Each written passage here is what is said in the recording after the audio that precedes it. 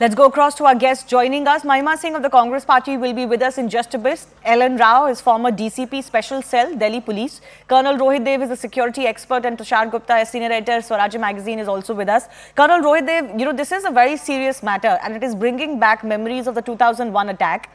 You know, what everybody is asking and naturally is that it's 22 years since that attack and the Indian Parliament or our security apparatus has certainly become much wiser and stronger. And yet, two individuals managed to sneak in these canisters. This could have been a catastrophic attack.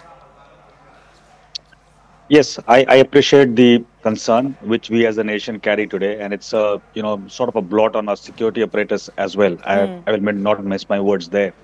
Having said that, compliments to the parliamentarians who actually uh, were there to mm. to pin down those two people as well. Having said that, the breach can happen in two or three probabilities. Mm a, a, canister of this nature is not today a technology governed to have no metallic uh, substance encasing it.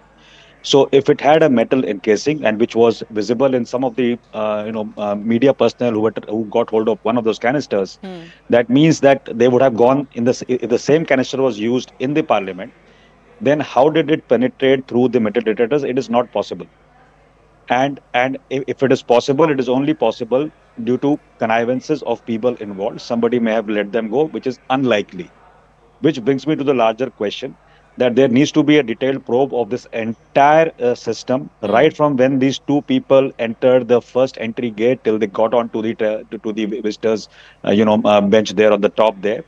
There were not many visitors today as we saw on on your channel as well so I think uh, we need to know that from where and at what point of entry hmm. or during their movement in the parliament did they get the possession of these canisters.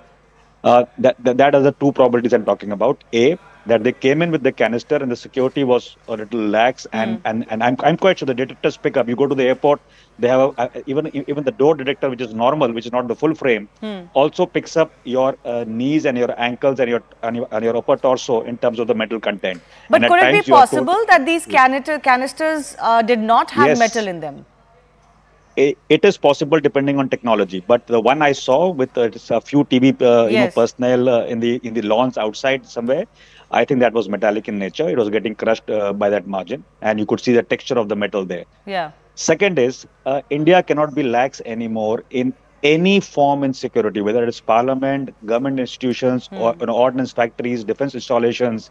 And, and this culture of somebody has signed and a mantri ka aadmi hai, santri ka aadmi hai, has to go right from the president of India probably you know can be pardoned because she has got her own security apparatus today, hmm. which which is which is more empowering as she's head of the state.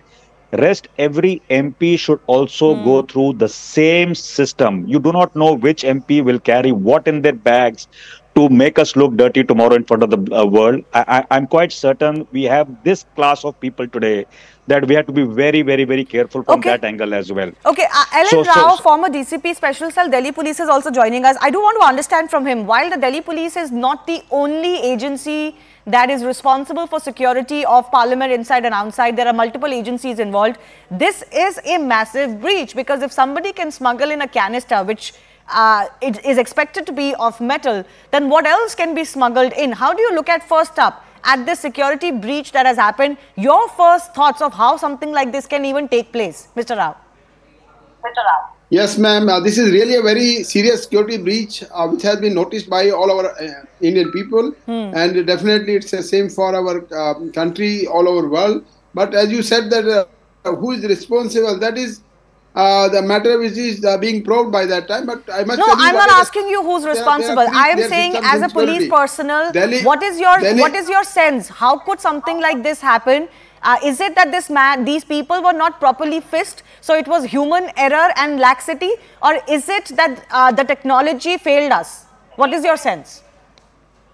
It, it is both. It, it is, both. both because the searching and frisking is done by the person who are sitting there. Two persons are searching one person there in the system hmm. and the security of three layer and maybe the equipments which are which are installed there to uh, uh, uh, to, to, search, uh, to find out these, these uh, objectionable items hmm. but this canister might not have been uh, detected by that equipment so it may be the both the tech, equipment failure as well as human failure Okay. I, I must tell you, Delhi police responsibility of security is outside the uh, boundary wall of security. Uh, that parliament, Right. inside that the inside the parliament, security itself is there, and then uh, CRPF people are with the uh, uh, to assist all these things. The- so there are three type, three layer of security. No, uh, no nobody can uh, challenge that, that that that three layer, but it is it has been done. That's why the probe is very important to find out what But, was the motive, how Mr. Rao- into that. Mr. Rao, would it be fair to say that let's say if somebody comes into parliament with a visitor's pass, that pass is generally given on behest at the behest of an MP,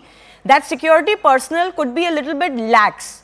That they wouldn't imagine that somebody who's acquired a pass from signed from a, you know re- received at least from the office of an MP could not be a suspect.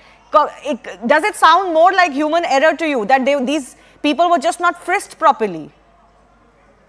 De- Definitely, it, it it may be possible because the security person who are searching and frisking and looking at the passes, they are also at least a human being. They might be thinking that that, that person has been recommended by some particular MP that they are not so much serious about his uh, his uh, identity or the Yeah. searching frisking may be slacked in that uh, point. The, so Yes. that the, the MPs who are giving MPs who are giving such type of passes, they must be very sure the the person who is uh, being given the so such passes. But that's not something they can do, Mr. Rao, with due incident and he respect. should have a The MPs cannot really do any background uh, checking of who they give a pass to.